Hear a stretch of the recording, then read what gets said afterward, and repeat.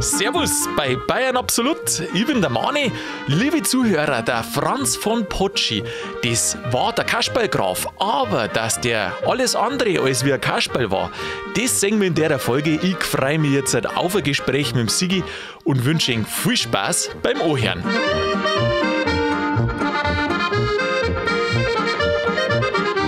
Servus, grüß dich, Sigi, habe ich dir.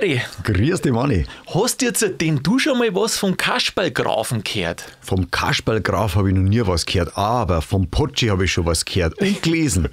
Echt jetzt gelesen auch schon? Mhm, Jetzt mal, äh, wenn ich mit der U-Bahn an der Potschi-Straße vorbeigefahren Das, bin. das stimmt. Also der Münchner, der kennt an Potschi äh, Straßen- und U-Bahn-Haltestelle, gell? Ja, da Was ist das? U, U U3. U6. oder U6? U3 ist das. Ist das U3? Das ist U3, ich glaube. Ist Ah, ja auch wurscht. Ja, und die, die wo einen Ausweis oder sonstige Sachen brauchen in Minger, die fahren zum Kreisverwaltungsreferat. Und hinterher können sie aufs Frühlingsfest gleich abbiegen, weil der Bavaria-Ring ist nicht weit und Theresienwiese auch nicht. Genau. Und äh, wer zum KVR geht, weil er heiratet oder einen Ausweis oder sonstiges braucht, der steigt auch in der Potschi-Straße aus. So schaut's aus. Daher kennt man Potschi. Aber meinst denn du, dass viele Leute wissen, wer das ist, was der gemacht hat? Ich glaube, dass keiner weiß. Nicht also die wenig, allerwenigsten. Wenig, gell? Äh, das ist aber so, einer, der wo nichts Schlechtes gemacht hat, die weiß man nicht. Der hat keinen Umbruch, der hat keine Kriege geführt. Jetzt kennt man nicht, gell? Ja, darum heißt der Kasperlgraf. Kaspergraf, ganz im Gegenteil, liebe Zuhörer, der Franz von Potschi, der war seinerzeit einer der höchsten Beamten in Bayern und gleichzeitig hat er ganz viele schöne Sachen gemacht. Äh, Er ist bekannt für die Kasperlgeschichten, die er geschrieben hat und äh, er hat viel gezeichnet. Er war sehr, sehr kreativ. Der hat quasi zwei verschiedene Leben gehabt und die zwei Leben schauen wir uns jetzt ein bisschen an. Ja, aber Musiker war er auch. Ja, Musiker, aber da war er nicht ganz so erfolgreich. Ja gell? gut, der war ja immerhin auf, am Hof, war ja äh, Musik, äh, Hofmusikintendant. Ja, genau, das war er auch. Genau. Jetzt pass auf, jetzt fangen wir mal, ähm, fangen wir mal an, überhaupt, wo der herkommt. Ähm, Potschi, da darfst du jetzt denken, ja, das ist ein Italiener, oder? Ähm, der Vater war Italiener. Aha, der Vater. Der Vater war Italiener und über den Potschi bin ich gestoßen zum ersten Mal, also wo ich Ja, ich war schon an der da- Potschi-Straße, oder? Ja, an der Potschi-Straße, Ja. aber wo ich drüber gelesen habe, ah, da kommt das her. Und zwar, der war ja am Hof schon tätig, also der Vater war ja am Hof Genau, schon tätig bei der genau. Königin Caroline Ja. Mhm. von Max I., Josef. Ja, Und äh, da, da war er schon recht Obersthofmeister, war er Obersthofmeister. Ja, bei also der hat schon viel mitgeredet. Königin Caroline. Genau, ich habe gemeint, der war irgendwie Erzieher oder irgendwas gewesen, aber das war, glaube ich, scheint so ein anderer. Aber Ja. auf, ja, aber auf jeden Fall, der Name ist halt schon mal Programm. Der ist Programm und der hat sicherlich auch auf die Königskinder eingewirkt, natürlich. Er war, jetzt einmal von, von, von vorn, genau, du sagst ja, der Vater war Italiener ähm, ursprünglich, der ist an den Hof gekommen, an den bayerischen Hof, damals noch unter dem Kurfürst Karl Theodor. Das war der vorletzte Kurfürst, bevor wir einen König gekriegt haben. Also König sind wir, Königreich ist Bayern oder war Bayern seit 1806 und 1807 ist der Potschi geboren. Am in 7. März in München. Und er ist er nach 69 Jahren in München gestorben. Genau. 1876. 1876, genau. Genau. Er war jetzt nicht groß bekannt, ähm, so wie andere. Er war ja Künstler, er war Staatsmann und Künstler. Er war jetzt nicht bekannt, dass er große Reisen gemacht hat. Ja, na, auf jeden Fall hat er am Hofe auch die Finger übers Geld, ähm, die Finger überm Geldtopf gehabt. Genau. Also Finanzminister kann man sagen, oder? Genau, war er dann später, da ich schon auch sagen. Also er, er hat ja dann als junger Bursch ist er aufgewachsen, sein Vater war ja auch schon am Hof, am bayerischen Hof. Ähm, er ist ein Graf, also das heißt ein sehr hoher Adelstitel. Ich weiß gar nicht, ob das nicht nach dem bayerischen, damals war es Kurfürst, dann war es König, glaube ich, war schon die oberste Riege dann anschließend danach, oder? Ähm, Herzöge, was ist das? Ja, Herzog, Herzog hat es nicht gegeben, hat's dann nicht gegeben zu der Zeit, wo er war, mein ich, dass da keinen Herzog gegeben hat. Äh, aber der Max I. Josef war ja ein Herzog vorher. Ja, genau, vorher. Aber dann ist er König geworden. Und da, glaube ich, hat es dann keinen Herzog nicht mehr gegeben, weil es dann einen König gegeben hat, oder? Also der war unbesetzt dann. Äh, Der Herzog war ja Herzog von Bayern. Genau. Aber dann, äh, wie wir Königswürde gekriegt haben, dann war er König. Achso, ja, ich glaube, da müssen wir nochmal nachlesen. Vielleicht nicht, dass wir wieder, nicht, dass wir wieder geschimpft kriegen für schlechte Recherche. Ja, genau. In jedem Fall war er ein hoher Adliger und deswegen ist er nach Landshut gegangen zum Studieren. Gut, man muss sagen, warum nicht Minger? Ja, weil damals die Uni in Landshut war. Er hat Rechtswissenschaften studiert und mit 23 Jahren ist er dann an den Hof gekommen. Und Genau, dann war als- er als erstes Zeremonienmeister beim Ludwig I. Ludwig I., Zeremonienmeister. Was, Was tut man da so? Gerade ich Ja, was fragen. tut- was tut man- Keine Ahnung. Man, man, findet ein Kasperl und macht ein Marione Marionettentheater. Ja, da, aber das hat er ja privat gemacht, sozusagen. Na, für einen König Zeremonienmeister, der hat sich halt um die Feierlichkeiten und die Etikette gekümmert, wenn eine Hochzeit war, wenn ein Empfang war, wenn irgend solche Sachen waren, dann hat sich er darum gekümmert. Ich glaube, ich weiß gar nicht, ob das so eine Einstiegsposition ist. In jedem Fall, die hat er mit 23 gehabt und dann ist er immer mehr geworden. Dann ist er vom Wirt geheißen, wo er dann ähm, quasi die ganze musische Sachen, die Aufführungen und das auch alles unter sich gehabt Intendant. hat. Ja, in, heute darf man Intendant sagen. Und ganz später ist er dann noch, wie du sagst, dann ist er Oberkämmerer geworden. Und das ist ja, glaube ich, darf man heutzutage Finanzminister sagen, oder? Eigentlich schon. Wobei das eigentlich ganz lustig ist, gell? weil der hat ja, Mhm. Ja. Karikaturen gemalt auch. Und jetzt als so hoher Adelsmann ist ja auch ja. komisch, oder? Schon sehr ironisch das Ganze. Ja, der war ja Chef von Teilen der Bürokratie natürlich. Ja. Und durch, hat sich lustig gemacht über genau dieselbige. Das ist der Wahnsinn. Ich habe mir die Sachen angeschaut, was der macht. Ähm, der hat so lustige Sachen gemacht und der hat die Beamten wirklich schön karikiert. Der Also, hat die ja. erbleckt. Heute darfst du vielleicht sagen, der hat die erbleckt. Und weißt du, was man merkt? Ähm, du kannst das gar nicht so erblecken, weil er gewusst hat, wie es abläuft und hat dann quasi aus dem Vollen schöpfen können und hat die eigenen Beamten erbleckt. Das ist ja Den auch nicht. Staatsdiener. Ja, Das ist, doch ja gut, wenn man Wahnsinn. über sich selber lachen kann. Ja, Der ja. war halt sehr nah dran an dem Geschehen. Gell? Also das war ja auch nicht. Der hat ja aufpassen müssen, dass er ja dem einen oder anderen nicht auf die Zieren steigt. Ja, ja. Also ist schon eine Gratwanderung. Und natürlich hat er es trotzdem da, aber auf eine schöne und humorvolle Art und Weise. Da hat es dann so eine Wochenzeitschrift gegeben, ich glaube, dass es eine Wochenzeitschrift war. Auf alle Fälle hat er dann da ähm, Karikaturen gemacht. Und die Karikatur hat er genannt, also es war so eine Comicfolge, so quasi. Jetzt muss ich das nochmal, jetzt muss ich schauen, ob ich das Wort äh, gescheit, äh, gescheit daherbringe. Der Staatshämorrhoidiarius. Ja, das hat was mit Start und mit Hämorrhoiden zum tun. Ja, da ich auch sagen. Das Ja, so, war, so, so, so wird es ja geschrieben. Aha. Ja, weil das war irgendwie der typische Staatsbeamte, so hat er den da beschrieben. Und also das war so ein Comic gezeichnet und dann aber auch äh, Text dazu und ein bisschen so, ja, so Sprechblasen hat es noch nicht gegeben, die hat er dann daneben hingeschrieben. Und der war immer, er war eigentlich immer krank. Er hat immer einen Haufen Akten vor sich gehabt und hat genau das beschrieben, wie halt so ein Beamter, so auf gut Deutsch, ja. Wie man sich ja- vorstellt. Der tut ja eigentlich nicht viel. Also der äh, macht und tut und irgendwie. Und jetzt pass auf, jetzt habe ich ein Zitat äh, von den Staats. Hilf mir nochmal bitte. Kannst du das Wort sagen? Warte mal. Staatshämorrhoidiarius. Staatshämorrhoidarium. Staatshämorrhoidarium. Ja, aber Hämorrhoidiarius war ja der Diener dann. So hat, die, so hat das geheißen, oder? Ähm, das ganze Gebilde hat Staatshämorrhoidarium heißen der Comic. Überleg dir mal das. Also Hämorrhoiden. Das ist, das ist jetzt nicht die das, wo man sich Staatsdiener, wünscht. die, die karikiert er als irgendwie Hämorrhoid. Eigentlich super, gell? Jetzt liest ich da, jetzt lies ich da mal einen Ausschnitt vor, was er da so, so dazu getextet hat in dieser Reihe. Da hat er getextet, jetzt pass auf. Ich zitiere, gell? Um 9 Uhr, da ziehen sie einmal auf. Um halb zwölf gehen sie zum Schöppeln. Das Wort erkläre ich gleich. Um eins ging es zum Essen, nachher zum Kaffee, noch ein paar Stündlein aufs Büro, den Einlauf durchsehen, wie ich es immer reden höre, nachher zum Nachtessen ins Haus, da werden die Buben gebeutelt, wer einen hat, um 8 Uhr in die Herrengesellschaft bis 11 Uhr. Das ist der Lebens- oder Tageslauf eines Staatsdieners. Und wenn er es einige Jahre so durchgemacht hat, dann bekommt er einen Verdienstorden.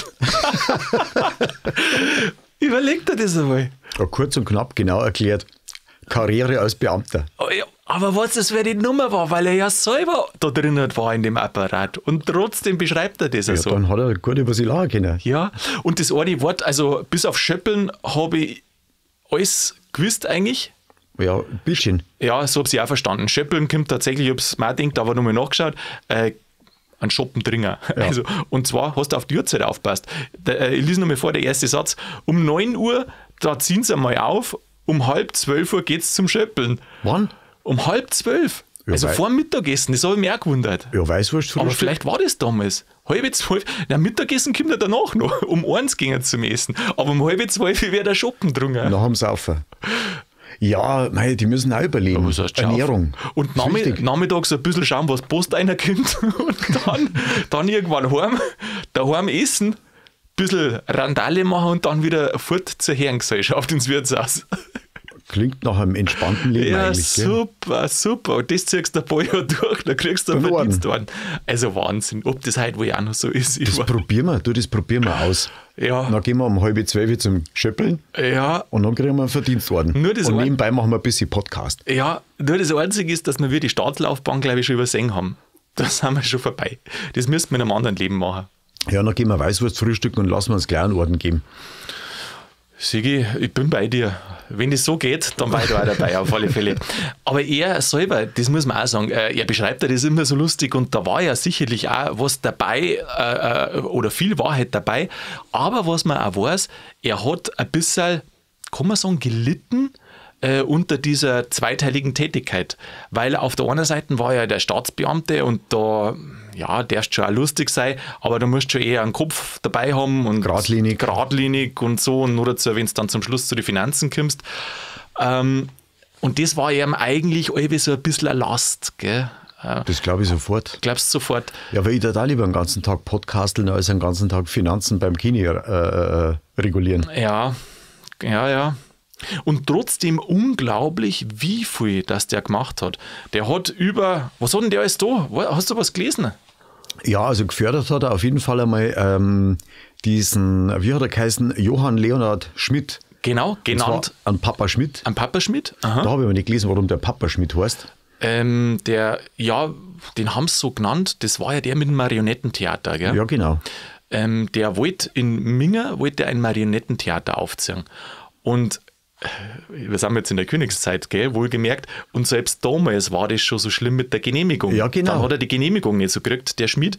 Und dann hat er sich an den Franz von Potschi gewandt, ich meine, Beamter ganz hoch omert, und der hat ihm geholfen, dass er die Genehmigung kriegt und hat ihm empfohlen, ein Theater äh, für Kinder und Erwachsene zu beantragen. Also genau dann hat das quasi einen pädagogischen Hintergrund. Genau.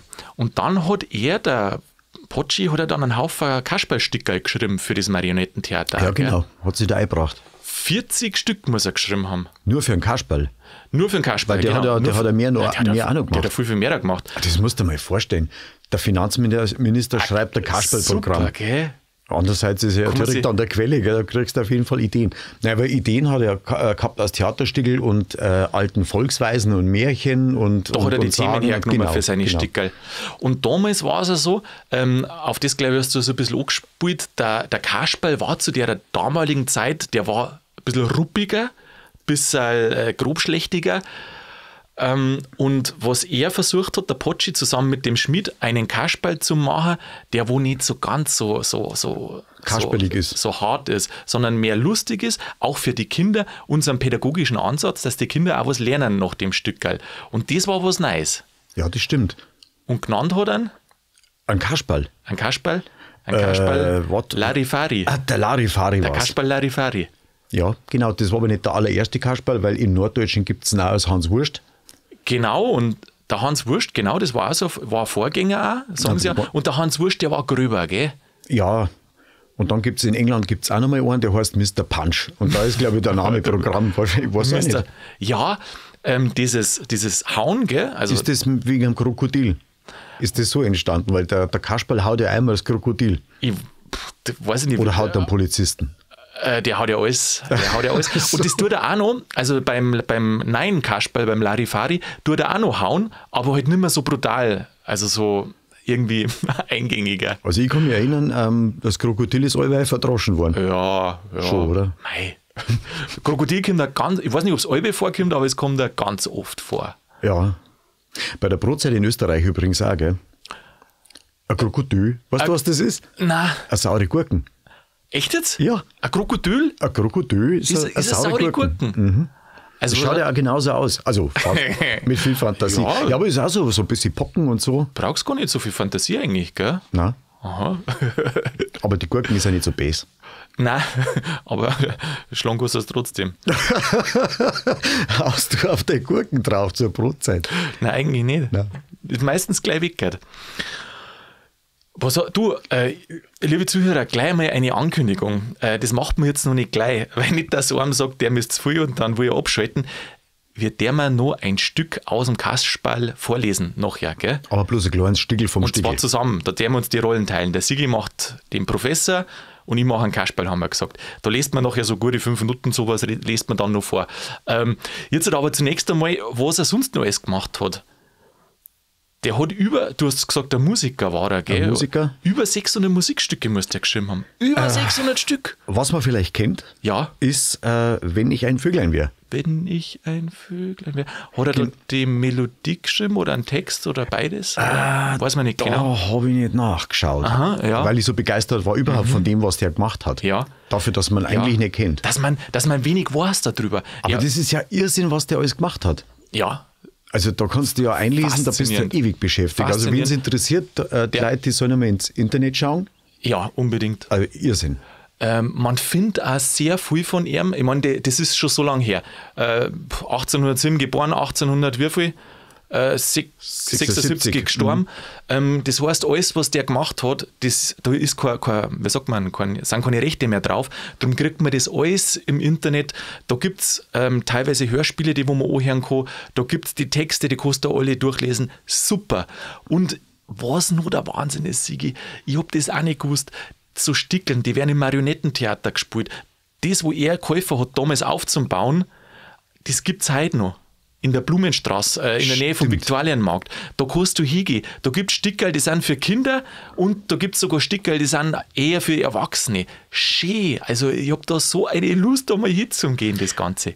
Und wenn man sich das alles mal so durchliest, ich meine, der hat ja auch gelebt wie ein Adeliger. Der hat ja, glaube ich, irgendwo bei, wo Heidelberg oder was, oder Ingolstadt war das, hat der da so einen Sitz gehabt. Na, in, äh, am Starnberger See unten. Ah ja, Da hat sein Vater schon das Schloss überlassen gekriegt vom damaligen Kini und da ist er halt dann eintreten. Ich glaube, er hat eine Wohnung in Minge gehabt, aber dann unten am Starnberger See, wenn wir es genau wissen, wo in Münzing am Ostufer, da hat er das Schloss dann bewohnt. Münzing war es. 30 Jahre, glaube ich, oder was. Da gibt es ja übrigens eine Franz von Potschi-Statue. Und zwar direkt, muss direkt vor der Grundschule sein. Landshut gibt es ja auch, gell? Ein Franz von äh, Potschi, einen Franz von Potschi Weg. Ah, ja, ja, macht das Sinn, da, oder? Studiert, gell? Ja, genau. Franz von Potschi. Mei, das ist ein richtiger Schatz, den wo wir da ausgegraben haben. Ja, den Gell? heben wir jetzt. Den haben wir. Weil da ist, Du, viel, da ist viel drin für zukünftige Folgen. Ich habe mir schon ein paar Sachen angehört und gelesen. Das ist ja so schön, was der gemacht hat.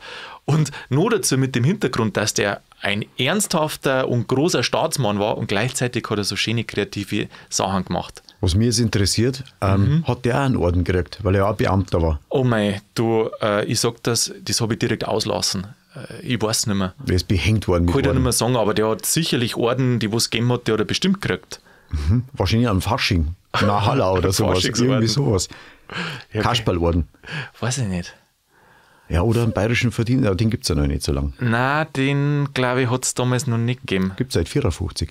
Wir müssen unsere Folge über den bayerischen Verdienstorden nochmal Müssen wir anhören. es nochmal noch anhören, gell? Ich glaube, wir alle miteinander müssen wir das tun. Ich, ich weiß schon, wir geben oft so, dass man die alten Folgen nochmal anhören muss, damit man weiß, was los ist. Was haben wir sonst noch? Musik hat er gemacht. Und weißt du, was mir auch noch sogar gefallen hat? Die Zeichnungen. Der hat ja so viel gezeichnet. Der muss ja Tausende oder sogar Zehntausende von irgendwelche Zeichnungen, Skizzen, sowas angefertigt haben. Das Und kann- so schön auch. Das kann sein. Ich meine, als Beamter hast du ja scheinst, du hast das ja vorgelesen, wie da die Laufbahn ist, hast du ja viel Zeit eigentlich. Ja, wenn es denn stimmt, ja. Ja, Gibt's nach- bestimmt solche und in, solche? In der Zeit, äh, nach, dem, äh, nach dem Schöppeln, Aha, bis zum Mittag hat er wahrscheinlich anderthalb Stunden zeichnet. Der Oder war- davor. Der war, weiß ich nicht, wann er das gemacht hat. Oder danach. Du, vielleicht er das Schöppeln einfach auslassen, dann gewinnt er eineinhalb Stunden am Tag. Aber Schöppeln fördert auch manchmal die äh, Kreativität.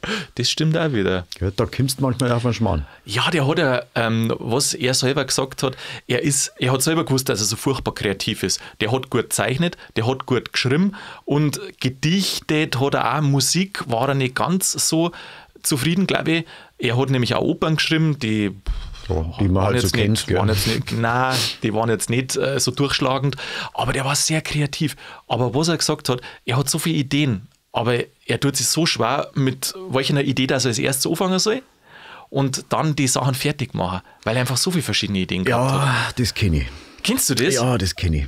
Gell, das ist äh, Fluch und Segen zugleich. Ja, weil du Mhm. weißt zu viel, du magst zu viel und dann fangst du das an mit voller Begeisterung und dann fällt da was anderes ein und dann hast du zwei Projekte und dann vielleicht nur ein drittes und dann verhaspelst die und dann wird nichts fertig. Ja, so ist. Und aber, frustrierend ist das vielleicht schon. aber er hat trotzdem so viel fertig geschafft. Vielleicht doch noch mal eine Beamtenlaufbahn. Nein, da, da, sind wir, da sind wir schon, da sind wir spät dran, Sigi. Die Amtenlaufbahn, das kann nichts mehr werden. Es gibt, ich muss da sagen, das habe jetzt ich gelesen, gell? Ähm, ich weiß nicht mehr, wer es geschrieben hat, aber da hat jemand geschrieben, das äh, Wirken vom Franz, vom Potschi, ist noch nicht richtig erforscht. Das ist noch nicht genügend erforscht. Und da denkst du immer als erstes, ja, was heißt denn das erforscht? Und dann habe ich, mir, dann hab ich mir so weiter, ist mir klar geworden, du eigentlich weißt sauber zu wenig über den. Du weißt, die Stickel, da ist eigentlich schon noch viel erhalten, was er geschrieben hat und so Zeichnungen, kannst du alle anschauen. Wunderschön. Aber das Gesamtleben und Wirken, da sind bestimmt noch Sachen, äh, was heißt denn erforschen? Erforschen, das ist doch oft so, da sind viele Sachen im Privatbesitz, noch in Familienbesitz und da muss einen geben, der wo mal versucht, bei den ganzen Leuten nachzufragen, habt ihr noch was, wisst ihr noch was, in die ganzen Archive geht und da mal das zusammenglaubt, was der alles gemacht hat über die ganze Zeit. Ja, in der Bayerischen Staatsbibliothek, da ist äh, schon viel zum Nachschauen. Ja, da ist sein Nachlass. genau. Da ist sein Nachlass. Genau. Genau. Das ist schon einiges. Ähm, Briefe, genau. Karikaturen, die Ja. ganzen. Ja, ist aber einiges auch im Privatbesitz und was du natürlich nicht weißt, ob nicht was im Privatbesitz ist von dem, wo du ja gar keine Ahnung hast. Ja, aber vielleicht kommt da jetzt einer raus und sagt, der Mei, ich hab das was vom Potschi daheim. So schön. Der ist das. Ah ja, super. genau. Kann schon sein. Ja, kann schon sein. Und dann ist aber der Potschi, die U-Bahn-Station, auch so eine Grattlerstation. Ja, das weiß ich jetzt gar Ja, nicht die ist schon ziemlich Warte verranzt. mal, äh, ja, mei, meistens steigst du jetzt schnell aus, weil du entweder auf die Wiesen gehst oder ins KVR. Ja, anstatt dass du vor, vor, vor Ehrfurcht äh, starrst oder, oder dich verneigst vor dem Namen. Also ich sag dir eins, wenn ich das nächste Mal an der U-Bahn Potschi-Straße aussteige, dann denke ich an den. Da geht die Sonne Das darf mich wundern, wenn ich da nicht an den zwar Dinger unten. tat. Unten. Äh, da geht unten die schon, Sonne gell, auf. beim ja, Aussteigen. ja. Potschi. Potschi, da freust du dich schon. Du, das war ja auch übrigens einmal was für Minger, gell? wenn eine U-Bahn-Station so wie Potschi heißt, dass man da ein Beutel vom Potschi hin dort oder vielleicht so ein bisschen Information, warum, ich meine, die Station ist wahrscheinlich nach der Straße benannt worden, aber warum das das so heißt? Also, was er gemacht hat. Mei, ich sag mal, rund um den Bavaria-Ring gibt es ja ein paar so, ein paar so äh, Prominente, zum, zum Beispiel ein Stieler, Stielerstraße. Jetzt gehen wir wieder hin, gell? Ja, ja. Jeder, jeder kennt die Beutel, also wenn es um die Kine geht, dann kennt ja jeder die Beutel vom Stieler, aber keiner weiß, wer der Stieler ist ich oder bin, war. Ich bin mir nicht sicher, ich meine, dass der Stieler auch einen Potschi einmal gemalt hat. Ui, Oder, oder, es, oder es waren die anderen, die zwei Brüder. Irgendwann habe ich, hab ich gelesen, der hat ihn gemalt, der war bekannt. Aber Halbwissen. Ja, ja. Da sag, da, genau, da hast du jetzt wieder nicht gescheit recherchiert. Aber mein Gott, wenn wir alles wissen dann, dann waren wir ja Internet, oder? Ja, aber das Internet äh, sagt ja auch nicht immer die Wahrheit. Richtig, richtig, das merkt man immer wieder. Franz von Potschi. Warum, dass ich das gesagt habe, dass das noch nicht richtig erforscht ist? Weil wir auch noch nicht alles wissen. Gell? Also, ich habe den gerade erst entdeckt. Die haben ja erst angekratzt. angekratzt erst. Jetzt haben wir ein paar Sachen erzählt über ihn. Das ist noch lange nicht zum Ende. Ich weiß auch gar nicht, ob wir das Wichtigste überhaupt erwischt haben von ihm. Aber was wir machen können, Siege, weil das mit dem Kasperl, das ist was sehr Markantes. Das, auch die späteren Kasperls, die Puppenkiste, die Augsburger Puppenkiste anscheinend, Das wo ich ist beeinflusst begründet hat. auf dem. Das weiß ich jetzt gar nicht, ob es direkt begründet ist, aber zumindest beeinflusst. Gell? Mhm. Ähm, ob wir so ein Stickerl aus dem Kasperl, wir haben es ja ausgemacht, ob wir das jetzt halt einfach mal vortragen. Wir probieren das einfach Das probieren einmal. wir jetzt einmal. Liebe Zuhörer, wir haben da jetzt nicht geübt. äh, Das läuft da so. Ich habe jetzt ein paar Zettel ausgedruckt. Der Spontanismus ist Genau, aus. ich habe ein genau. paar Zettel ausgedruckt und die lest mir jetzt einfach. So machen wir das. Ich vermute, dass danach nicht mehr viel kommt. Also, wem es zu viel wird, einen schönen Tag. Ansonsten, dem Rest wünsche ich jetzt viel Genuss. Ja, also so kündigt man richtig Großes an.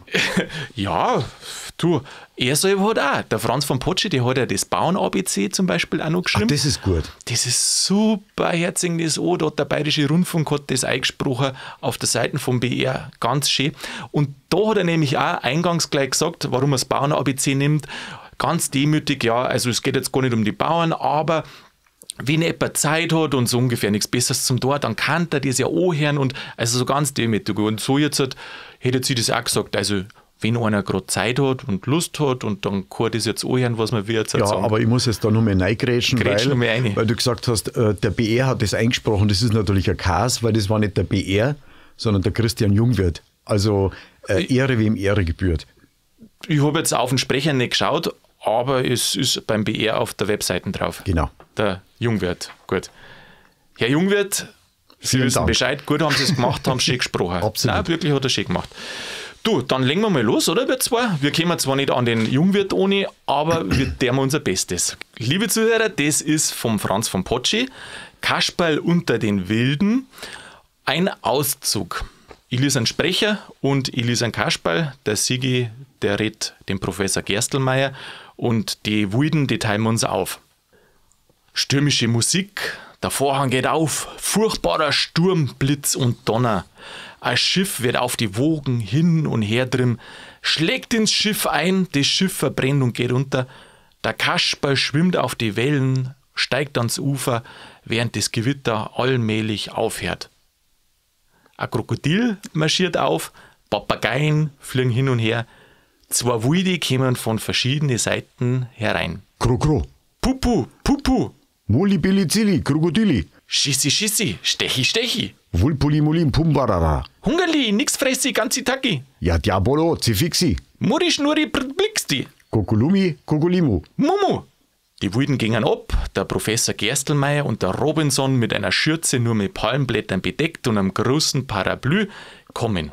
Nun lebe ich schon ein Jahr auf dieser einsamen Insel unter dem 48. Grade südlicher Breite und widme mich unablässig dem Studium der Naturwissenschaft. Dank dem Zufall, dass mich die wilden Einwohner für ein höheres Wesen ansehen und als solches verehren, sonst hätten sie mich längst äh, gefressen. Allein das ist ja der Vorteil der Männer der Wissenschaft, dass sie stets von einem verklärenden Nebeldunste umhüllt sind und von dem Laien als allgem im Allgemeinen, im vorliegenden Falle in Spezie von den Menschenfressern als Halbgötter angesehen werden müssen. Noch bin ich mir aber meinen Forschungen nicht zu Ende. Ungeachtet der genauesten mikroskopischen Beobachtungen gelang es mir noch nicht zu entdecken, ob die Exkremente der Sepia annulata aus rein animalischen oder vegetatiblen Atomen bestehen, worüber ich bereits am 800. Bogen einer ausführlichen Abhandlung arbeite. Noch ein paar Monate und der preußische Dampfer Windebötel, der mich hier auf den Staatskosten ausgesetzt, wird mich wieder abholen. Es bleibt mir also nur noch eine kurze Zeit für meine Forschung. Wie dem auch sei, jedenfalls kehre ich, reich an Erfahrungen, mit einer Sammlung von 40.000 naturwissenschaftlichen Objekten nach Europa zurück. Ei, was sehe ich da kommen? Eine Art Papagei, ein Psittaculus formososus. Die Spezies scheint mir neu. Ich will mich etwas verbergen und beobachten. Schlabberdi-Bix, das ist ja eine miserable Landschaft. Kein Wirtshaus weit und breit, keine menschliche Seele, nix als Affen, Pappeln und sonstige Menagerieviecher. Das ist ja zum Verhungern. Da hätte ich nicht ein paar Schnecken gefunden, leider ohne Sauerkraut. So wär ich schon hin. Mein Magen kommt mir jetzt schon vor wie ein leerer Tabaksbeutel. Mein Unterleib ist auch schon so eingeschrumpft, dass ich gar nicht mehr weiß, ob ich jemals einen Bauch gehabt hab. Ja, was wär denn das? Der Kasperl ist doch nicht zum Hungern und Dursten auf der Welt. Ha, Schreckenszeit. Und wie komme ich denn wieder fort nach Haus zu meiner Gretel? Rings um Wasser und nix als Wasser. Wenn's nur wenigstens Bier wär. Allein dieses heimatliche Getränk scheint hier ganz unbekannt zu sein. Mich kommt schier die Verzweiflung an. Au weh, au weh, wenn ich verhungern müsst. Nein, das hielt ich nicht aus. Da ging ich eh jetzt Grund. Halt, du entkommst mir nicht. Herr Jemini, was ist denn das? Ein herrliches Exemplar. Lassen's aus oder ich schlag aus. Ah, ich hab mich geirrt. Ptaculus garnulus. Nur stillgehalten, Freundchen. Bin ich dir Flügel ein wenig gestutzt, damit du mir nicht mehr entkommst. Was fällt denn Ihnen ein? Flügel stutzen. Ich bin ja kein Vogel. Das muss ich als Gelehrter besser wissen, wer du bist und welche Spezies du angehörst. Nix Spezies. Ich bedanke mich für den Spezi, der mich stutzen will. Nix stutzen und nix dutzen heißt bei uns zwei. Verstanden? Nun, du scheinst mir ein zahmes Exemplar, das vielleicht schon europäische Bildung genossen hat und wieder übers Meer herbeigeflogen ist. Bildung habe ich genossen. Aber Bratwürstel und Blauskraut genug. Nur hierzulande heißt's Hungerleiden. Jetzt aber, wie kommen denn Sie daher in die abgelegene Insel? Ich bin wirklich froh, dass ich eine menschliche Physiognomie sehe, obschon Sie wie ein Narr aussehen. Es ist eine Frage, wer der Narr ist. Er ist also wirklich kein Papagei. Wär nicht übel. Ich bin nur kein Papagei, sondern ein Kaspar Larifari, pensioniertes Mitglied der europäischen Völkerwanderung und untergegangener Schiffsmatrose außer Dienst, nebenbei Privatier und Stiefelputzer. Also wenn Sie mich als Bediensteten brauchen können oder was, so stehe ich zu Diensten. Aber ich sehe mehr auf gute Kost als auf schlechte Bezahlung und Arbeit. So, jetzt wissen Sie alles, was Sie wissen brauchen und überhaupt, wenn Sie ein ordentlicher Gelehrter sein wollen, so geben Sie mir ein Maß Bier als Drangeld. Gut, gut. Genug des Geplappers, drolliger Psi äh. Ich will dich in meine Dienste nehmen, denn ich werde dich wohl brauchen können in meiner Höhle. Was in der Hölle? Nein, ich dank. Da drin mag ich nichts zu tun haben. Da ist der Teufel und seine Großmutter. Es ist nur eine Felsenhöhle, in der ich wohne und meine Sammlung von Naturalien aufbewahre. So, Kapitalien haben's. Das lasse ich mir gefallen. Bei einem Kapitalisten mag ich schon bedünter sein. Da fällt bisweilen was ab. So sind wir einig. Ich bin dein Herr und du bist mein Diener. Ja, ich bin von nun an Ihr Kammerdiener oder vielmehr Ihr Höhlendiener, weil Sie keine Kammer zu besitzen scheinen tun. Ich werde alles redlich mit dir teilen, obgleich die Bissen auf dieser Insel oft ziemlich schmal sind. Und ich werde auch alles redlich mit Ihnen teilen, besonders weil ich nichts hab, denn sonst hätte ich selber behalten. Nun kannst du gleich deinen Dienst antreten, bleibe hier und warte, bis ich von meinem wissenschaftlichen Spaziergang zurückkehre. Dann sollst du etwas meine Beute heimtragen. Wenn Sie einen Beutel haben, in welchem sich Geld befindet, so können's mir lieber gleich jetzt geben. Bleib nur hier. Sollte sich Einwohner dieser Insel, nähern, so versteck dich, denn du wärst verloren, im Falle sie dich entdecken würden. Geh's nur zu, ich geb schon Acht auf mich. Und dann geht's nur ein bisschen weiter. Sigi, du Professor. Ja, Professor. Du, du müsstest bloß mal an die Uni gehen, dann hättest du diesen richtigen Professorensprech drauf. Ja, ich habe mir Mühe gegeben. Aha, ja, das merkt man. So ein bisschen den Intellektuellen raushängen Den lassen. intellektuellen Professor. Aber das Blöd zum Lesen. geht. Ach du, äh, das ist nicht leicht. Äh, der. Text ist nicht leicht, weil manchmal Wörter drin halt sind, die glaube ich sind erfunden oder so fremd, dass sie einfach nicht im täglichen Sprachgebrauch sind. Mei, Von dem her ist der, nicht. der Sprachfluss ist ja auch ein anderer. Ist ein anderer, ja, ja, Also wir haben es jetzt zum ersten Mal gemacht. Ganz blanko. Ganz blanko. Blanko. Schön. Ganz nei. Aber was sagst Schreibt er schon schön, oder? Ja, Bilder tun sich auf im Kopf. Bilder die sie auf im Kopf. Das war jetzt ja gerade ein Ausschnitt von äh, Kasperl bei den Wilden. Und da gibt es ja noch viele, viele andere Geschichten. Zum Beispiel Kasperl, hat da einer geheißen? Ich glaube, das war Kasperl in der Türkei oder wie das geheißen hat. Da hat er einen ähm, Diener und der Diener, der heißt Pfeifistopfiri. Pfeifi, Stopfi. Aber damit hat er es, gell? Ja, der hat Bei Krokodili, Krokodili, Kroko- die zwei Wilden. Ja, und der hat immer so lustige Namen für die ganzen Sachen. Und er will immer, also da merkt man schon, dass der Franz von Potschi in Bayern gelebt hat, weil es immer ums Bier geht.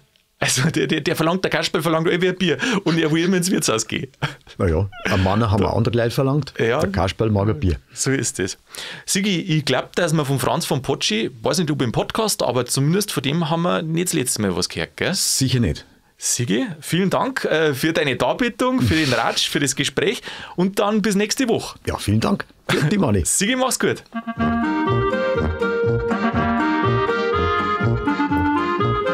Liebe Zuhörer, das war's schon wieder von Bayern Absolut, zumindest für der Folge. Da haben wir einen Schatz gefunden mit Franz von Potschi, was der alles schöne Sachen geschrieben und zeichnet hat. Schaut sich das gern an, gibt ganz tolle Sachen und das Schöne ist das, alles ist kostenlos im Internet zu finden. Führt sich das zu Gemüte, es ist wirklich wert. Ich hoffe, dass euch die Folge gut gefallen hat, dass ihr am nächsten Donnerstag wieder mit dabei seid. In der Zwischenzeit macht es gut und bleibt grübig.